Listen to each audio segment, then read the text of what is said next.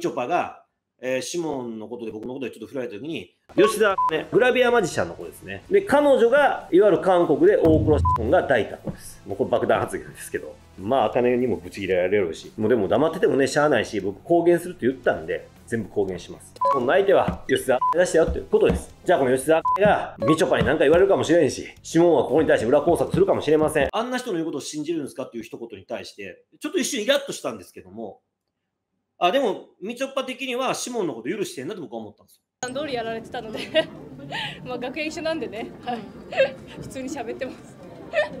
ありがとうございます。めちゃくちゃ引き悪い。なんて言えばいいかわかんないな。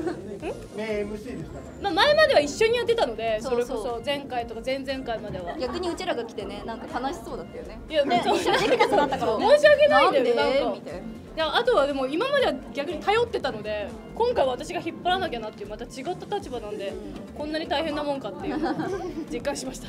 頼りました、はい、何もないです。仲いいですよ。最近はねとか報道とかでいろいろとお騒がせしておりまして、皆さん本当にすみません。あの子そんなアホじゃないから絶対シモンのやってることも分かってるやろし。ただあそこでちゃんとシモン君に怒りましたって言わんとシモンは多分反省せえへんなと思いました、うん、もしくはシモンが完全に自分のことを潔白やって嘘を言ってそれをみちょぱが信じたんやったらちょっとアホな子やなとも思います。シモンを許したんやったらあの場で許しましたよ、もう二度としないって約束してくれましたで、僕はええと思うんですよ。一番ね、理解、分かりやすいのは。あんな言い方したら、シモンは正しくて俺が間違ってるっていう言い方をしてるような状況やから、シモンはこれからも治らないですよね。を務めさせていただきます大倉シモンと申しますよろしくお願いしますさあそして。はい今回も MC を務めます。みちょぱです。お願いします。はいお願いします。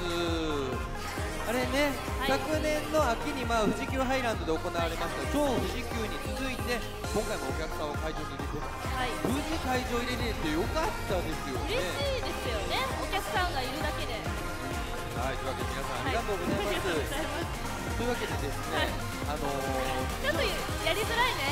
やりづらい。ちょっとあのー、最近はねとか報道とかでいろいろとお騒がせしておりまして、皆さん本当にすみません。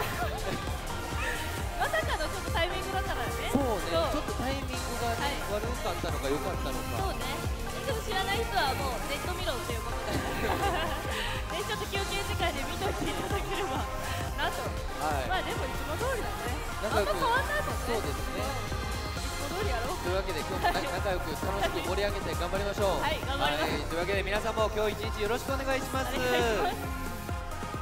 そう後ろもねすごい可愛くなってるんですがいかがでしょうか、はい、なんかすごいだよね。それなよきよきなんか今時っぽい。えー、どうしようかな。私たちしてない。そうかそうか。ちょっと ありがとう。ありがとうだけどそうねお似合いとか来てありがとうね。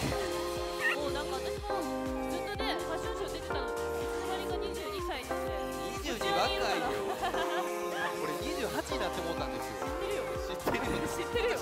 それは知ってるよ。さあというわけで皆さんお待たせいたしました、超10代2021プレミアム。まず最初のステージはこちらです。どうぞ